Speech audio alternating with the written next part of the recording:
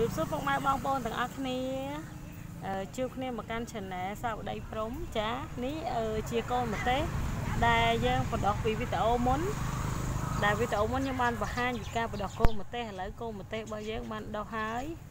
នេះច្រើនម៉ែនេះអូខេស្អាតទេកូនម្ទេសយើងដោះយ៉ាងមែនតើថ្ងៃនេះខ្ញុំនឹងធ្វើការផ្សាំកូនម្ទេសដើម្បីយកទៅបដោះដាក់ក្នុងដើម្បីយកទៅដាំ ឥឡូវមកនឹងដាំយើងត្រូវការដកកូនម្ទេសនេះយកទៅផ្សាំសិនដើម្បីឲ្យវារឹងមាំវាជាងធំបន្តិចទើបអាចយកទៅដាំបានអឺខ្ញុំអត់ចាំដែរនេះប្រហែលជាកន្លះខែក៏អត់ប្រហែលជាកន្លះខែកូនម្ទេសនេះព្រោះថតតាំងពីវីដេអូមុន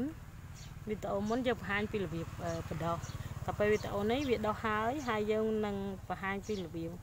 ផ្សាំវាដើម្បីយកវាទុកវាយកវាទៅដាក់ដាំអូខេនេះ គោម្ទេសយើងដោះបានល្អមែនតែនស្អាតមែនតែនចានេះគោម្ទេសឡើងញឹកហ្មងអឺវាបានស្លឹក4ស្លឹកហើយអូខេតោះអញ្ចឹងយើងទៅមើលការរៀបចំនិងរបៀបដាក់ផ្សំគោម្ទេសយើងដើម្បីទុកអឺយកទៅដាំអឺ នៅពេលនេះយើងដោយសារតែយើងអត់មានផាងសម្រាប់បដោះអញ្ចឹងយើងប្រើដបទឹកសុទ្ធសម្រាប់ធ្វើការបដោះវាតោះអញ្ចឹងអញ្ជើញពុកម៉ែបងប្អូនទាំងអស់គ្នាមើលទាំងអស់គ្នាដបទឹកសុទ្ធនេះនេះយើងមានដបទឹកសុទ្ធនេះមួយហើយខ្ញុំចាស់គូទៅហើយពីព្រោះខ្ញុំនៅឆ្ងាយពីខ្សែភ្លើងអញ្ចឹងទៅវាពិបាកចាស់គូអញ្ចឹងយើងចាស់គូទៀតណាប្រើកបិតប្រើអីក៏បានដែរបើប្រើមានសម្រាប់ដើរតែភ្លើងយើងដើរតែចាស់ក្បាលចាស់កតុយអឺមកដាប់ទឹកទឹកនេះយើងកាត់បាន2ចាអញ្ចឹងខ្ញុំនឹងធ្វើកាត់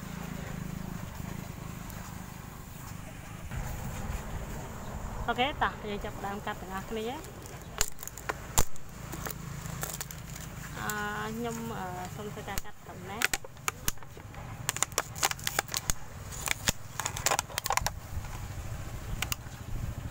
កាត់វាហើយអញ្ចឹងអានេះក៏យើងអត់ចោលវាដែរ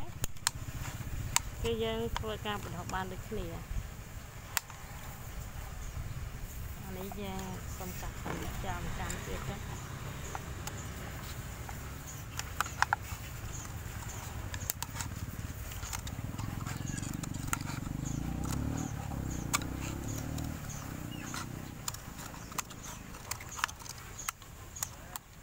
OK អញ្ចឹងដបទឹកសុទ្ធមួយយើងអាចកាត់បាន2កាត់បាន2យើងកាត់អញ្ចឹងកាត់រហូតដល់ដបទឹកសុទ្ធទៅមើល1 2 3 4 5 6 1 2 3 4 5 6 OK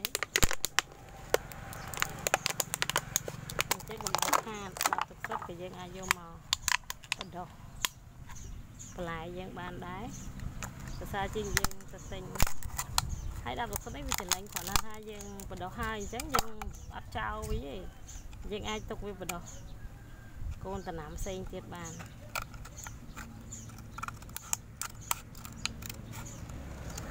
ហើយក៏ប៉ុតទឹកវាទាំងវែងអញ្ចឹងក៏បានដែរប៉ុន្តែទឹកវាវែងពេកអញ្ចឹងវាពិបាកអញ្ចឹងគឺកាត់វាចាំកម្មកម្មអញ្ចឹងទៅហើយស្មាវាអូខេយើងកាត់អញ្ចឹងទាំងអស់មកអូខេនេះជាកំប៉ុងដែលយើងកាត់រួចរាល់ហើយពេលដែលយើងកាត់ហើយអានេះ ខ្ញុំដាក់ខាងគូសិនខាងគូសិនខាងគូយើងដាក់ម្ដុំខាងក្បាលដាក់ម្ដុំកុំឲ្យពេលដែលយើងរៀបវាទៅវាមានពោះមានទៀនហើយអញ្ចឹងយើងយកវាមករៀបក្នុងកញ្ឆែងមកអូខេយើងយកមករៀបក្នុងកញ្ឆែងឲ្យវាពេញកញ្ឆែងមកអូខេនឹងយកឲ្យវាពេញកញ្ឆែងយើងមក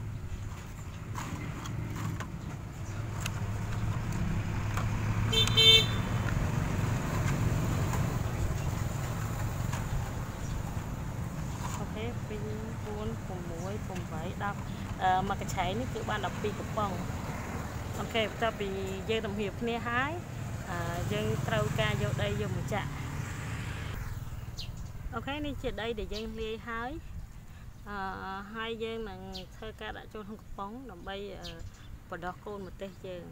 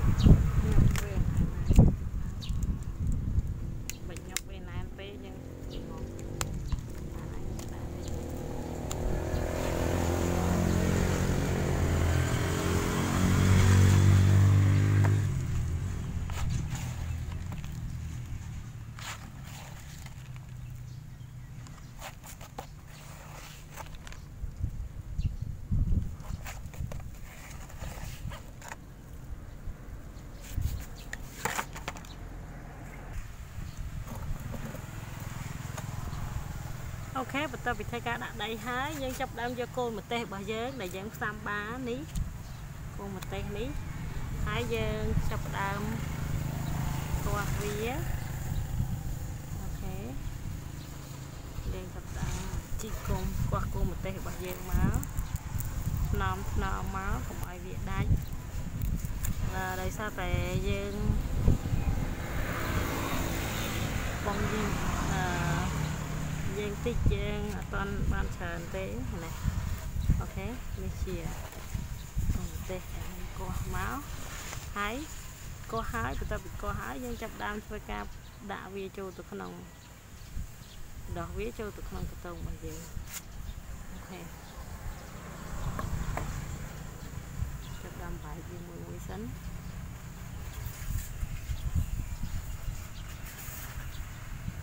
អូខេយើងយកតាណាល្អល្អអាណាវាអត់ល្អវាងាប់វាអីអញ្ចឹងយើងមិនយកវាទេ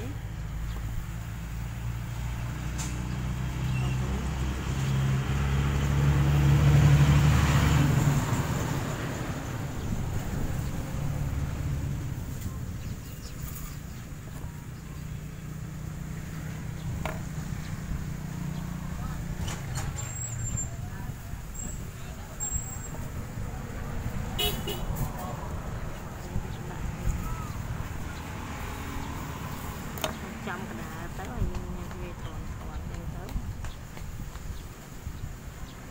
ពុំតិចយើងទៀត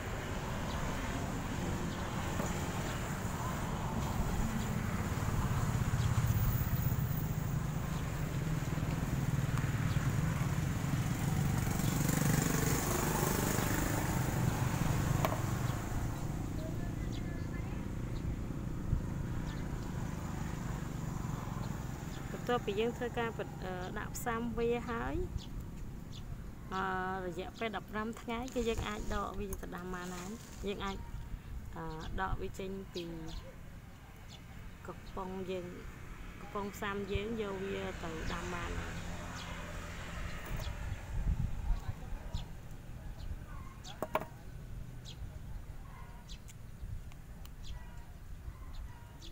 គេយើងហើយកទៅណាវាមានសុខភាពល្អអាណាវាអត់មានសុខភាពល្អទេយើងកុំយកវា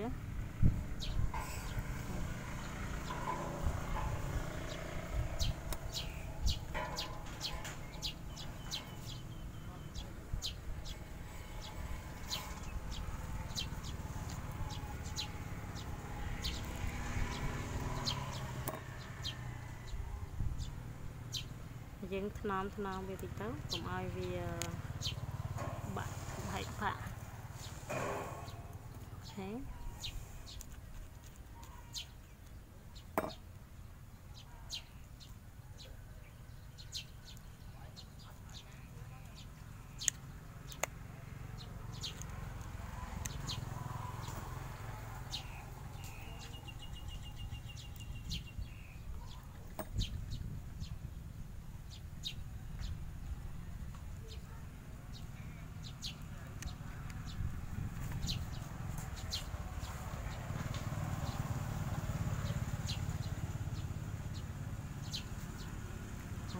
ខ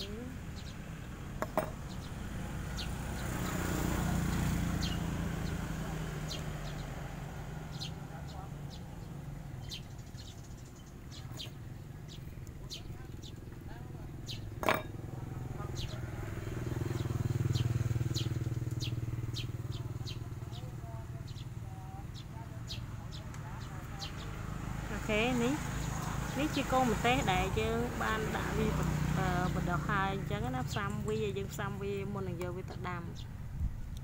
អូខេអានេះយើងផ្សំវាទៅរយៈពេល15ថ្ងៃឬក៏ខែតាមយើងនេះអញ្ចឹងណានិយាយទៅឲ្យវារៀងធំបន្តិចមើលទៅរៀងមមមួបន្តិចទៅយើងយកវាទៅដាំទៅវាអត្រាងាប់វាវាអត់សូវងាប់បើសិនយើងយកវាទៅដាំទាំងឥឡូវវាទូចវាខ្សោយអញ្ចឹងធ្វើឲ្យវាឆាប់ងាប់ អូខេអរគុណពុកម៉ែបងប្អូនទាំងអស់គ្នាដែលតែងតែ